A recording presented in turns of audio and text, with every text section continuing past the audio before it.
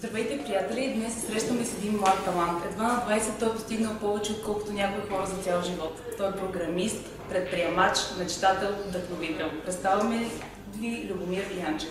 А, искам да те попитам първо за Мелиса, станал си известен около нея. А, разкажи малко повече за тези, които си мислят, че Мелиса е името на гаджето ти. Мелиса е името на компанията ми, която се бори в живота ми да ми бъде игра, защото ми отнема много време. Даже повече, отколкото. А, Мелиса започна като училищен проект. Всъщност, аз в училище си казах, искам да си управлявам лампата с клас. И така два месеца по-късно, когато след като си го казах, казах Мелиса Turn the Lights On на един микрофон вкъщи и бам, лампата свет. Това беше много готино. В 3 часа през нощта и ти си радваш като момента на нали, everything. А, Впоследствие обаче реших, че искам да правя бизнес от това нещо. Искам да съграда бизнес около домашната автоматизация, искам да дам това на, на масовия потребител. Което беше голяма грешка.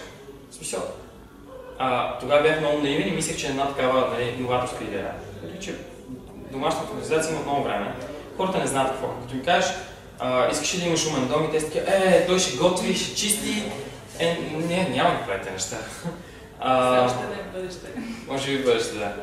В крайна сметка, а, три години след като стартирах проекта и една година и половина след като се провалих с миналия проект, с цялостната домашна автоматизация, а, Мелиса вече корно различна. Тя се промени като човек.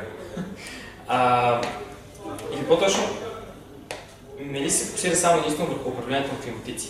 С Мелиса, което всъщност в момента представлява едно толкова голямо устройство, което просто поставяш някъде близко около климатици в същата стая а, с него ти правиш си много по-умен и много по-енергоефективен. Може да го управляваш от всякъде. В метрото си, тъмън идваш към работа, тъмън се прибираш от работа, няма проблем, пускаш го и готово. Нали се обаче направихме толкова много, че в един момент дори не трябва да се притесняваш ти за климата.